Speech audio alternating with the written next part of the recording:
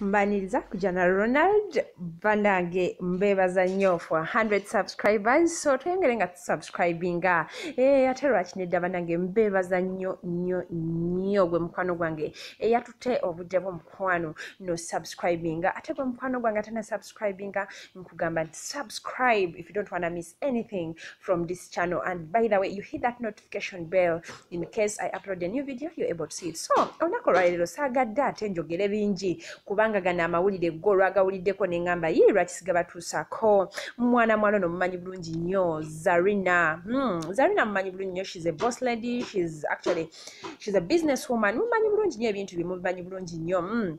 She's actually the current tourism ambassador for the Republic of Tanzania.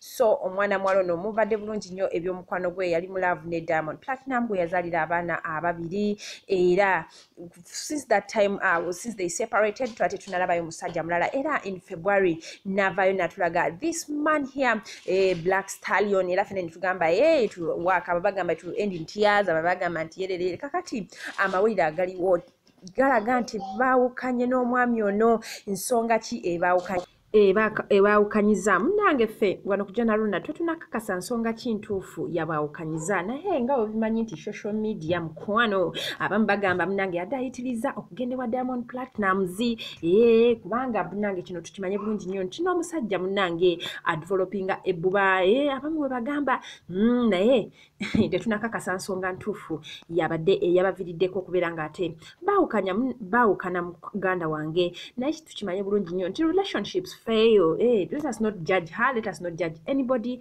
but bannange tubeere ng'ate tetubasalira musango. Mm, byebyo ebiva oluuyi olwo kakati mukwano gwange kugamba comment down in the comment section kikyolowooza about um, this relationship eyazzaala uh, okubeera ng'ate munnange? Eh, bawukanye n'omwami ono uh, the black stallion. Gwe kikyolowooza put down there in the comment section. Ate weno video a thumbs up kakati mukwano gwange sijja kuwakujjukiza nti please subscribe to this youtube channel. Ate obeere nga ohitinga that notification bell. Eh, osobola okubeera ng'ate uh, amawulire gano gemba nfuteereddeyo muganda wange. Togasuba